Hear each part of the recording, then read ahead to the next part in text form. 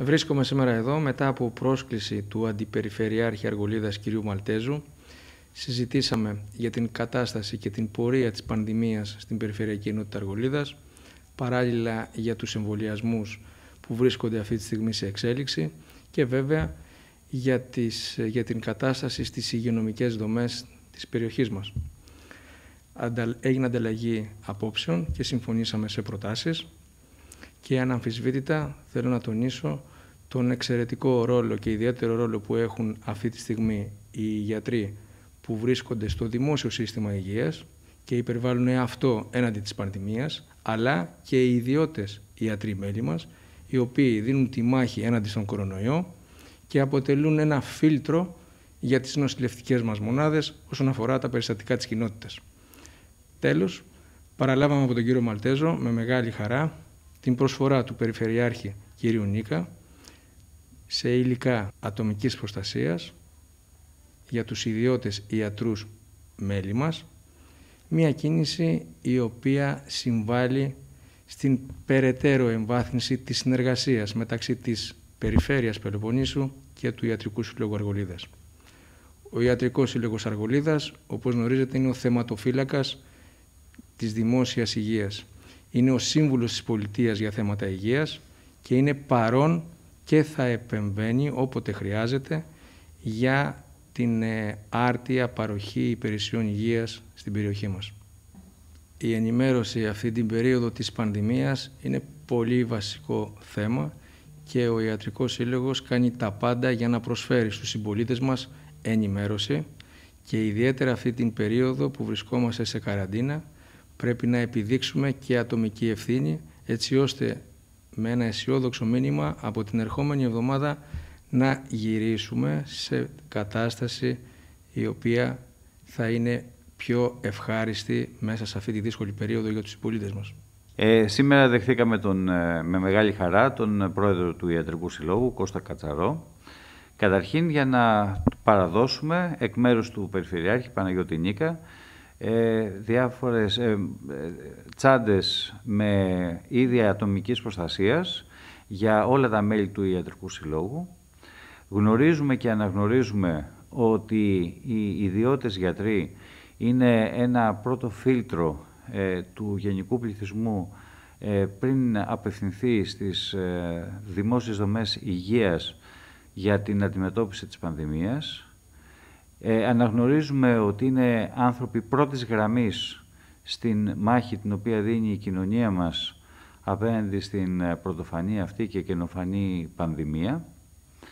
Αναγνωρίζουμε ότι οι πρωτοβουλίες τις οποίες έχει πάρει είναι πάρα πολύ σημαντικές μέχρι τώρα για την ευαισθητοποίηση και την ενημέρωση του κόσμου απέναντι στο φαινόμενο αυτό. Να θυμίσω τις ε, τηλεδιασκέψεις ενημέρωσης, ε, κάποιες από αυτές είχαμε συνδιοργανώσει με την ε, Περιφερειακή Ενότητα Αργολίδας, ε, όπου ε, πολύ σημαντικοί γιατροί είχαν μιλήσει και είχαν ενημερώσει τους διευθυντές των σχολείων και γενικότερα και τους γονείς σχετικά με, το, με τα πρωτόκολλα ε, αντιμετώπισης ε, σε περίπτωση κρουσμάτων στα σχολεία. Ε, και βεβαίως είναι ε, πρόθυμοι και, το, και μας δήλωσαν ότι είναι πρόθυμοι. Ε, σε κάθε αντιμετώπιση, σε κάθε πρωτοβουλία αντιμετώπισης από εδώ και πέρα της, του προβλήματος της πανδημίας ε, ενδεχομένως τον εμβολιασμό ο οποίος θα χρειαστεί, ε, στα τεστ τα οποία έχουν γίνει ε, για την ε, ιχνηλάτηση της πορείας των κρουσμάτων και του, ε, του κορονοϊού και γενικότερα τους ευχαριστούμε πάρα πολύ ως ε, Περιφερειακή Ενότητα για την βοήθειά τους και τη συνδρομή τους αυτή. Όπως ξέρετε, η Περιφέρεια Πελοποννήσου ε, μπορεί να μην είναι ε, ιεραρχικός ο ρόλος της στην, ε, όσον αφορά τις δομές υγείας, είναι όμως πολύ ουσιαστικός, επικουρικός, επιβοηθητικός και μέσα στα πλαίσια αυτά, όπως ε, επικουρικός και επιβοηθητικός είναι και ο ρόλος των ιδιωτών γιατρών, ε, αυτό που πιστεύουμε είναι ότι ε, για να αντιμετωπίσουμε μια τόσο σοβαρή κατάσταση όπως αυτή που αντιμετωπίζουμε, είναι απαραίτητη η συνεννόηση, είναι απαραίτητη η συμπόρευση και η συστράτευση. Αυτό λοιπόν ακριβώς γίνεται και μέσα στα πλαίσια αυτά ε, χαρήκαμε πάρα πολύ για, την, ε, για τις διαπιστώσεις αυτές τις οποίες κάναμε και μέσα στο πλαίσιο της ε, συνάντησης μιλήσαμε και για άλλα σοβαρά θέματα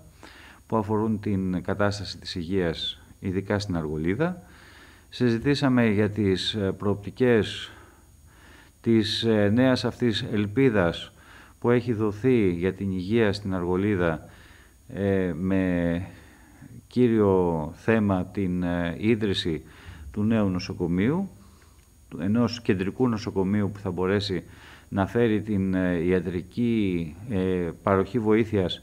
σε άλλο επίπεδο, στην Αργολίδα, ε, να αφήσει πίσω τις δυσλειτουργίες και τα προβλήματα του παρελθόντος. Ο Περιφερειάρχης, ως γνωστόν, έχει ήδη εξασφαλίσει ένα πολύ σημαντικό ποσό, 50 εκατομμυρίων ευρώ, και πρέπει να, με τη βοήθεια όλων, και των γιατρών βεβαίως, πρέπει να πιέσουμε, πρέπει να τρέξουμε, πρέπει να ενεργήσουμε για να, το δούμε, για να δούμε αυτή την ιδέα να παίρνει σάρκα και οστά.